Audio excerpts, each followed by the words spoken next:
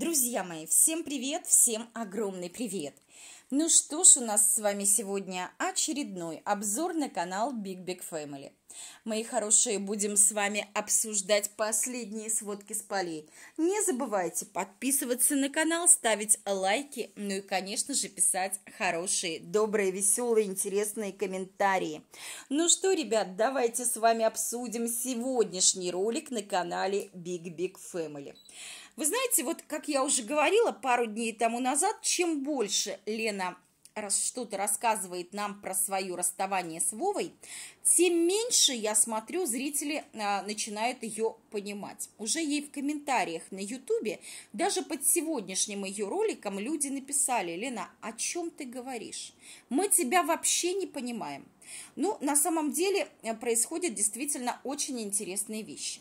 Если в первый день рассказывая о своем расставании с Вовой, Лена сама сказала о том, что так и так, Вова нас в этом доме не оставляет. Вова принял решение продавать этот дом.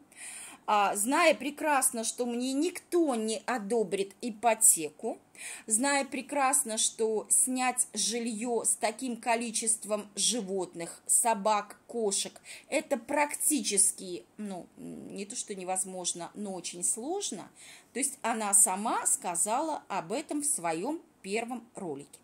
Конечно же, когда она выкладывала свой второй ролик, да, она уже вышла и начала просить зрителей, мол, пожалуйста, не надо наезжать на Вову. Вы все накинулись на Вову, Вова ни в чем не виноват, конечно, Вова не выкинет, не оставит своих детей на улице. Но при всем при этом Лена забыла, что она сама своими словами говорила подобные вещи. Поэтому, слушая вот это все, а, люди были многие в шоке и начали писать, так скажем, гадости про Вову, да, Лена такого не ожидала, Вова, наверное, тем более такого не ожидал, и уже второй и третий ролик Лене пришлось рассказывать о том, что да нет-нет-нет, Вова вообще не такой человек, Вова вообще лучший муж на свете и лучший отец для своих детей. Ну, друзья мои, в сегодняшнем влоге Лена пошла еще дальше и сказала о том, что вообще они с Вовой самые лучшие друзья. И Лена уверена в том, что они до конца своих дней будут дружить. Да, вы не ослышались, это все истинная правда. В общем, как говорится, обо всем по порядку. Вы знаете, сегодня Ленина настроение мне понравилось. В том смысле, что Лена рассказывала некоторые вещи, и вот честно, она так это рассказывала, что, правда, как-то, знаете, было немножко смешно. Первый момент, который Лена рассказала, ей там начали писать по поводу того, что вот вы своими собаками не занимаетесь, давайте-ка надо собак дрессировать и так далее. На что Лена сказала, нет-нет-нет, эти собаки у меня для души, никто их дрессировать не собирается. Она говорит, когда-то в детстве я мечтала быть кинологом. И у нас, говорит, наша овчарка была самая дрессированная во всей округе. Поэтому, говорит, дрессировать я, говорит, вообще никого не дрессирую. Ну да, кроме Вовчика. Наверное, именно по этой причине, друзья мои, Вовчик и сделал ноги. Ну ладно, это шутка. Понимаю прекрасно, что многие шуток не понимают и начнут писать всякие гадости. Далее, далее, ребят, а, отвечая на вопрос, да, она говорит, вот был такой вопрос, спрашивали у меня, говорит, а вообще, говорит, ваше вот это вот расставание с Володей, говорит, было ли неожиданным для ваших родных и близких? На что Лена сказала, нет, нет, это не, не было неожиданностью для наших родных и близких, для наших с Вовой родителей, потому что, говорит, основной разрыв произошел у нас с Вовой еще в Москве несколько лет назад. И наше расставание, наш разрыв, это как раз-таки был вопрос времени. И вы знаете, ребят, когда Лена сказала о том, что все к этому шло, и это знали точно и четко наши родители и наши дети, я подумала, так, Лен, стоп, ты же рассказывала о том, что когда ты поделилась этой новостью со своей старшей дочерью с Лизой, Лиза, у, у Лизы случилась истерика. Говорила это, Ли, это Лена, говорила в своем как раз-таки первом ролике про разрыв с Вовой. Она сказала, что Лиза, старшая дочь, совершеннолетняя, услышав об этом, у нее случилась истерика, друзья мои, да, так а если бы она действительно была готова к этому, если бы для нее это не было бы, как говорит Лена, неожиданностью, Так тогда почему у нее случилась истерика? Ну, согласитесь. Но еще очень интересную вещь сказала Лена. Она говорит, вы знаете, Вову винить не надо. Это, говорит, было уже мое осознанное решение.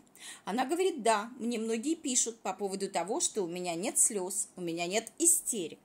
Она говорит, поймите, у меня больше нет этих чувств.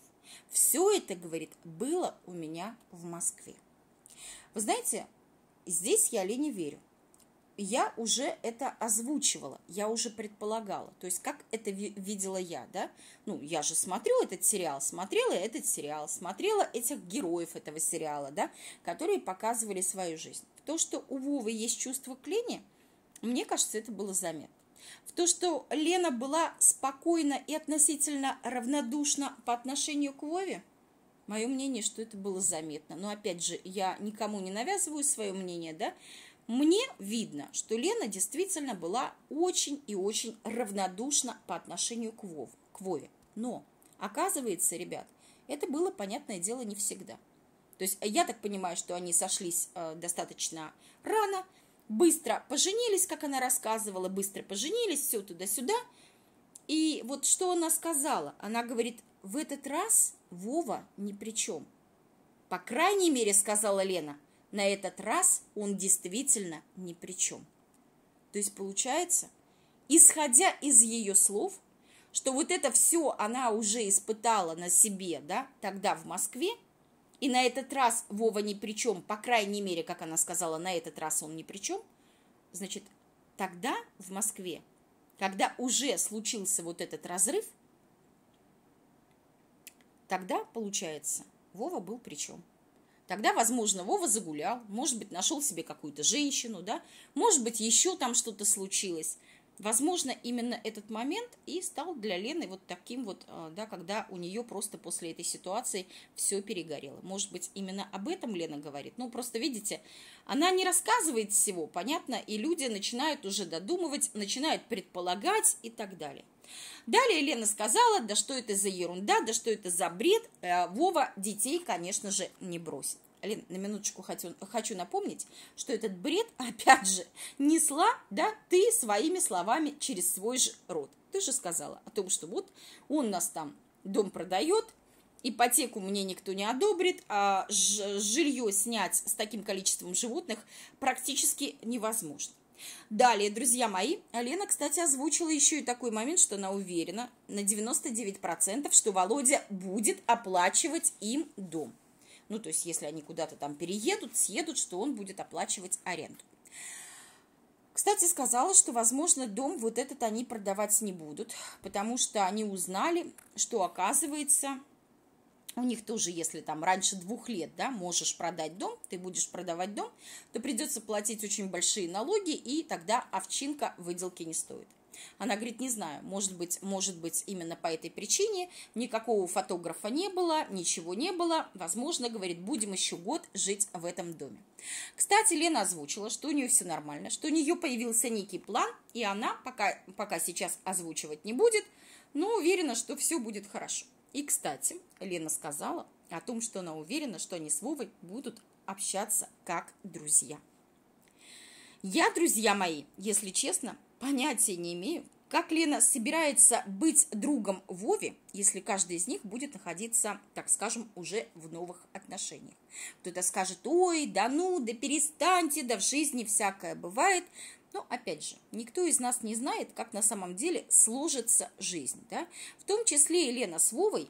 А, возможно, если верить вообще в это э, расставание, если это действительно инициатива Лены, тогда, конечно, Лене проще. Если у нее тогда была обида еще с Москвы на Вову, если там Вова когда-то там ей э, изменил там или что-то еще такое сделал, да, и у Лены все это перегорело, то, конечно, морально Лене намного проще. Я, да, тогда, да, тогда Лена действительно может нормально относиться к Вове. Но опять же, это до поры до времени, до того момента, пока в жизни Вовы не появится новая женщина новая женщина не захочет делить Вову с Леной, да?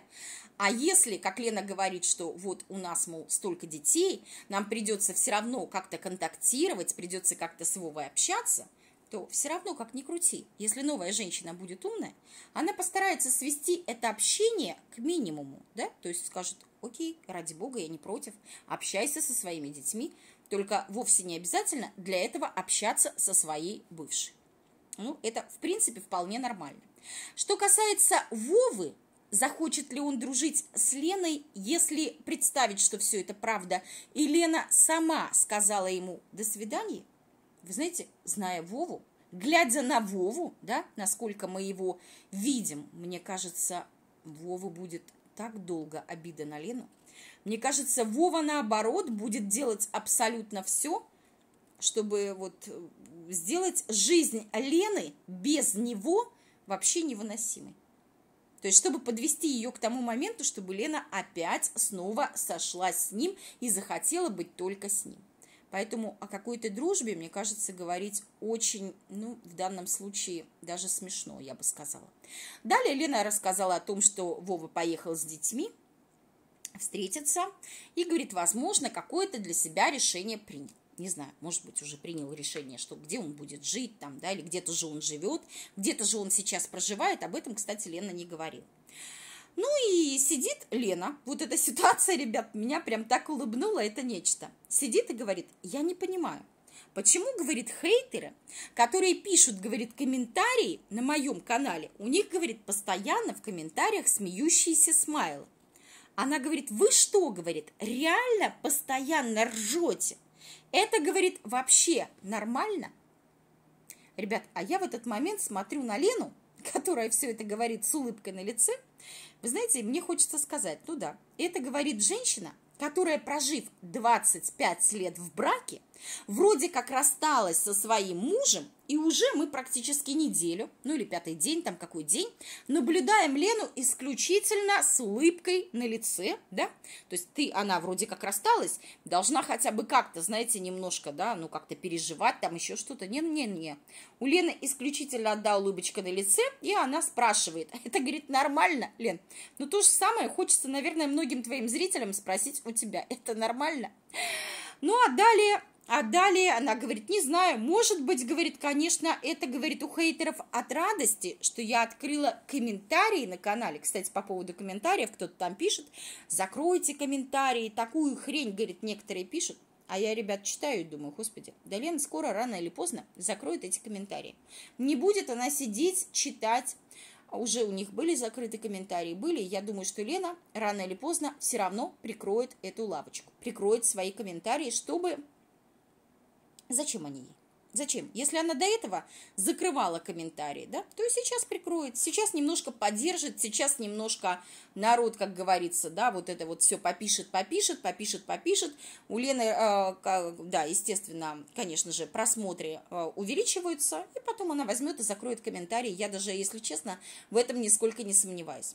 Ну, а далее Лена начинает как раз-таки толкать вот эти вот разговоры про дружбу. Она говорит, вы понимаете, вот говорит, у, у, у каждого есть какой-то друг, да, есть кто-то, какие-то друзья. Она говорит, у меня нет близких подруг, вот таких вот прям вот, чтобы прям близких-близких. Она говорит, у кого-то, говорит, да, у кого-то есть подруга близкая, у кого-то, говорит, мама как подруга, да, с которой можно обо всем поговорить. Она говорит, а мы с Вовой всегда были как друзья. Она говорит, понимаете, говорит, вот мы друзья, говорит, и я уверена, что, говорит, мы будем с ним дружить ну, типа до конца своих дней. А я, ребят, вот это вот все слушаю, думаю, боже, Лен, вот ты сейчас судишь с этой, со своей ситуацией, со своей колокольни, да? Ты даже не понимаешь, о чем ты говоришь. Вы тогда находились вместе, да, общались вместе, потому что вы жили под одной крышей, вы жили, вы были семьей, вы, по сути, и сейчас еще семья, да? Вы еще по документам не разводились, не развелись, у вас был совместный быт, совместные дети, все, совместная жизнь. 25 лет жизни. Это вы, извините, не хухры-мухры. Ну, о какой дружбе может идти речь, когда они действительно разойдутся, и у каждого начнется уже своя личная жизнь? О какой дружбе может идти речь? Когда у одного появятся свои какие-то личные отношения, у него появится какая-то женщина, у Лены появится какой-то мужчина. Ни о какой дружбе даже близко речи быть не может. Если они будут поддерживать ради детей какие-то хорошие отношения, вот это уже будет огромной, я бы сказала, победой, да. А то, что у них не будет никакой дружбы, ребят, это сто процентов. И если, может быть, Лена еще верит в то, что она могла бы дружить с Вовой, потому что у нее все перегорело, да, опять же, если верить в этот разрыв и в это расставание, то Вова, Вова-то, получается, по ее словам, до сих пор ее любит, то как Вова может взять и спокойно дружить с тем, кого он любит? Но это нереально. Опять же, это действительно нереально. Потому что Вове, получается, он же не хотел уходить из этих отношений, по словам Лены, да, то есть ему захочется опять отношений с Леной, значит, он будет делать абсолютно все. Она говорит, вот, я ему там позвоню, и он примчится, мне поможет в любой ситуации. Да, опять же, пока Вову не будут связывать другие отношения, а потом все изменится. А если еще у Вовы где-нибудь родится ребенок, да, уже с другой женщиной, а ведь такое тоже возможно, то тогда вообще Вова уже, знаете, ну, конечно, он будет уделять внимание детям от Лены, да, своим детям, вот, их совместно. Но, опять же, он и в своей новой семье будет проводить огромное количество времени. То есть как-то так. Ну, а про детей что? Про детей, в принципе, дети Лену особо не напрягают. Катюшка там с ней э, играла, да, сидела рядом с Леной. Ну, а Лаврик постоянно с Левой играют в игры. Лена сказала, ничего в этом плохого не вижу, они целыми днями играют в игры, их все устраивает, это каникулы, пусть дети проводят время так, как они хотят. Ну, в принципе, а Лена в предыдущих своих роликах озвучила, что у нее проблем с детьми а, гораздо меньше, нежели проблем с собаками, с животными, да, что она животным уделяет гораздо больше времени принципе, Лена сама по себе такой человек, такой пофигистический какой-то, да, которому все пофиг, веники. Она спокойно относится абсолютно ко всему, то есть она вообще спокойно ко всему относится. Она не перетрудится, не, ну, может быть, это и правильно в какой-то степени, да, потому что люди, конечно, все разные, где-то кто-то всегда переживает за все, волнуется и так далее, здесь, туда-сюда. Лена, имея такое количество детей, спокойно, я бы сказала, как удав. Я не знаю, может быть, она принимает какие-то препараты. Может быть, она на каких-то действительно антидепрессантах, я не знаю. Но она слишком вот как-то сама по себе очень спокойна. Ребят, не знаю. Вот такой у меня получился обзор. Продолжение следует. Пишите, что вы думаете по этому поводу. Оставляйте свои комментарии. Всем пока-пока.